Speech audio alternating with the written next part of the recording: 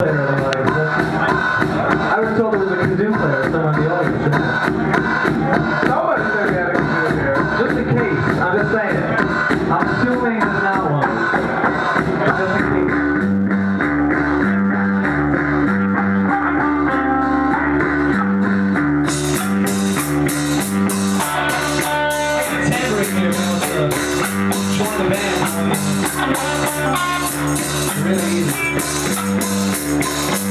I'm walking